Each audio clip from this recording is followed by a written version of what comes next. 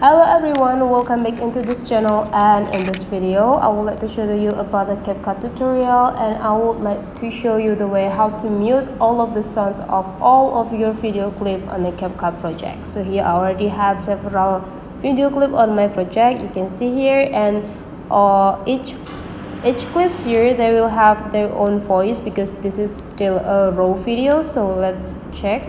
Aku yang min you can see the video is quite noise Uh-huh. so let's remove all of the noise from this video clip. So to do that you can do manually by just go click each clip and after that you can take a look on this button feature explore and slide into the left side until you found the volume. And after that you can just drag this point until the zero and then the voice of the video will be disappear. But then if you want to do for all of the clips without do it manually you just need to go click this mute and all of the video clip will have no sounds so that's the way how to mute all sounds on your video clip on a CapCut. Hopefully this tutorial today is useful for you. So don't forget to leave some comment, like and subscribe into this channel and I'll see you for the next video.